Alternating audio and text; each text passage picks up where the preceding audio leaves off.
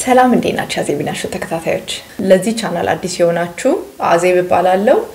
background nutrition ላይ ነው። በዚህ ቻናል ላይ ስለ ጤና እናወራለን።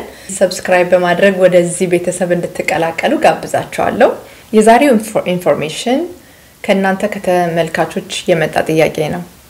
በ ketogenic diet ልንጠቀማቸው የምንችላቸው የተለያዩ የምግብ አይነቶች እና የ carb መጠናቸውን ብትገልጭልን የሚል ጥያቄ ነበር እና እኔም ሳስበው ይሄ information በጣም ጠቃሚ ነው።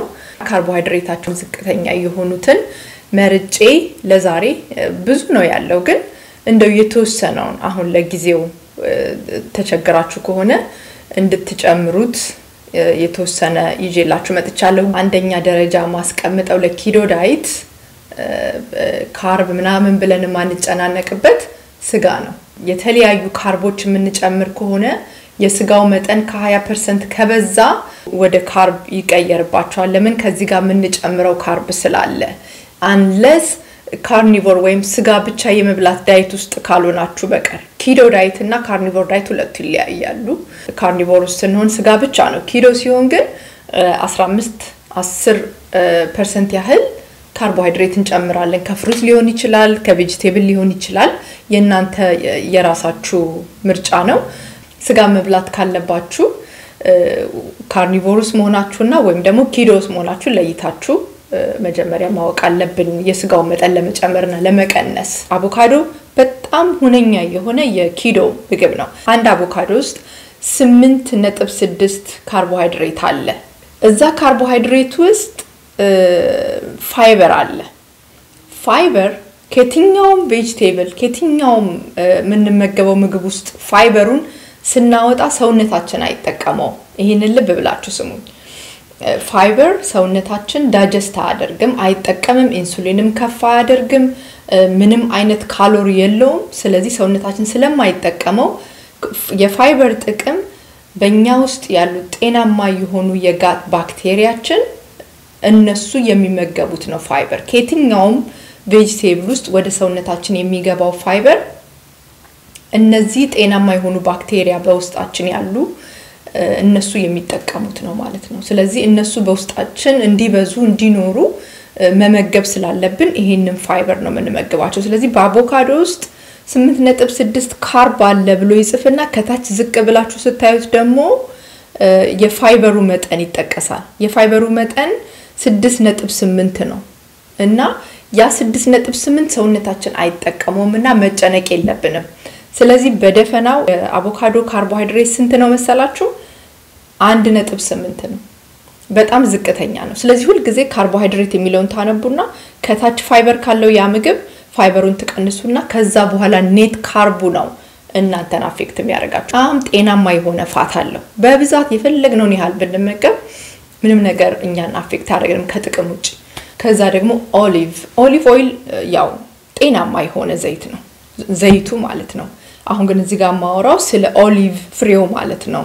ሶስት ነጥብ አንድ ነው net carb ኡ ነው። ብዙ አይበላም። በጣም የሚመር ስለሆነ እሱ ብዙ አይበላም። የቻላችሁትን ያህል ጨምራችሁ፣ እሱም ጤናማ የሆነ ለ keto የሚጠቅም ምግብ ነው። ከዛ ደግሞ ቲማቲም ቲማቲም ሁለት ነጥብ ሰባት ነው net carb ኡ።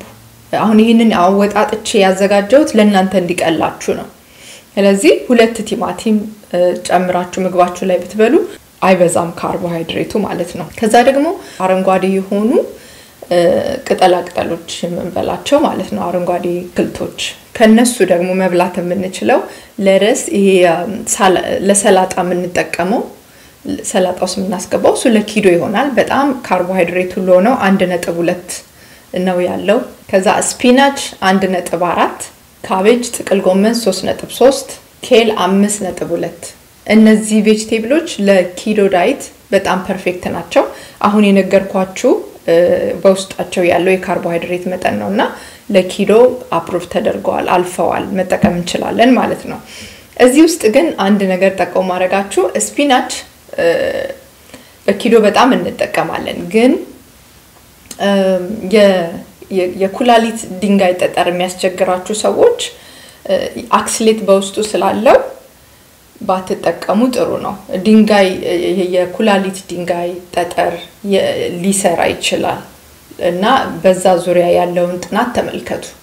እና የኩላሊት ድንጋይ የሚያስቸግራችሁ ሰዎች oxalate ያለባቸውን እንደ almond፣ spinach ባትጠቀሙ ጥሩ ነው። ያው ስለ ጤና ስለምናወራ አንዱን እናድናለን ብለን ሌላ እንዳናበላሽ። ድንጋይ ችግር ኩላሊታችሁ ድንጋይ እየሰራ ጠጠር እየሰራ የሚያስቸግራችሁ ሰዎች ብቻ እንጂ ከዛ ውጪ spinach ጥሩ ነው። ብሮኮሊ እና የአበባ ጎመን እነዚህ ሁለቱ በጣም በከፍተኛ ሁኔታ በ keto እንጠቀማቸዋለን። ከዛ ደግሞ bell pepper bell pepper የምንላቸው እነዚህ የተለያየ color ያላቸው የቃሪያ አይነቶች ሶስት ነጥብ አራት ነው የካርቦሃይድሬት መጠናቸው እያንዳንዳቸው ላይ ያለው አሁንም ለ keto መጠቀም እንችላለን። እዚህ ጋር አንድ ነገር የምመክራችሁ በጣም በበሽታ የምትሰቃዩ ሰዎች፣ ቶሎ መዳን የምትፈልጉ ሰዎች እነዚህን ሁሉ እየቀነሳችሁ እየደመራችሁ ከምትቸገሩ ስጋ ብቻ እኔ አሁን እያደረግኩ ያለሁት እኔ ስጋ ብቻ ነው የምበላው። ለምን ሁለቱንም የዳይት አይነት ስለምደግፍ በሁለቱም መዳን ስለሚቻል ነው አብሬ እያስኬድኩ ያለሁት። እኔ ግን ፈጥኜ ውጤት ያገኘሁት ካርኒቮር ዳይት ነው፣ ስጋ ብቻ በመብላት ነው። ይህን ሁሉ መደመርና መቀነስ የለብኝም። ስጋ ብቻ ነው የምመገበው። በጣም ፈጣን የሆነ ለውጥ አግኝቻለሁ። extreme የሆነ በጣም ከፍተኛ የሆነ የ ketone level ላይ ነው የምደርሱት ስጋ ብቻ የመብላት ደረጃ ላይ ስደርሱ ማለት ነው። ግን vegetable ኦችን መጨመር እፈልጋለሁ፣ ቀስ ብዬ መዳን እችላለሁ፣ በዚህ መንገድ ራሴ ማየት እፈልጋለሁ የምትሉ ሰዎች ደግሞ በጣም perfect እና ትክክለኛ ውሳኔ ነው። ይሄ ነው መንገዱ። በተለያየ ጊዜ አሁንም ኢንፎርሜሽኖቹን ይዤላችሁ እመጣለሁ ሳልደክም ቀንና ሌሊት እናንተ ለምጠይቁት ጥያቄ መልስን እያዘጋጀው ይዤላችሁ እመጣለሁ። በሚቀጥለው እስከምንገናኝ ሰላም ቆዩ።